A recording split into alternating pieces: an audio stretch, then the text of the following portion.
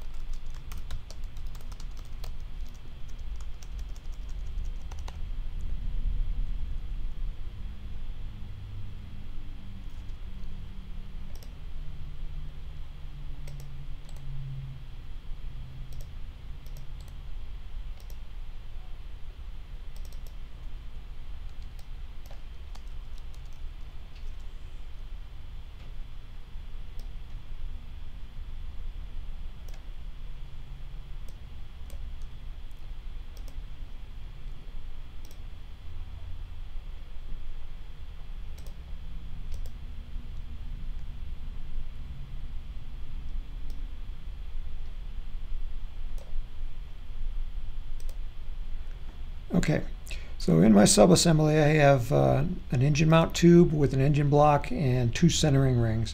So at this point I need to save the subassembly. So I'm going to click edit the subassembly and then we're going to save parts to a file. And this will bring up a screen where you're going to save it. I'm just going to throw it into my design folder. I'm going to call it my uh, BT60 engine mount and click save. And so now it is saved onto my computer in the folder and I can either click OK or cancel here. I'll just click OK and I'm going to save this design.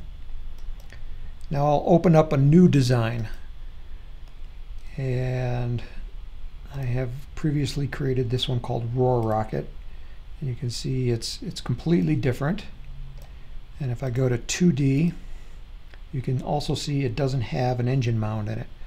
So first I need to find where that's going to go, where my engine mount is going to be attached, and it's going to be attached to this body tube right here. Nope, that's the front one. This is the rear run one because it has the fins on it. And I'm going to click subassembly, and I'm going to say yes. And now I'm going to load my subassembly. So it is, I'm looking for my uh, BT60 Um, the one that ends in RSA, which stands for RockSim Subassembly, that's the one I want to select. Now open it, and you can see it just dropped it right in here into my rocket. I click OK, and basically that's how you use the subassembly. You start by creating the subassembly, then you add parts to it, then you save it as a subassembly, then you can open it and install it into a new rocket uh, by loading it. So if you have any other questions, uh, please let us know.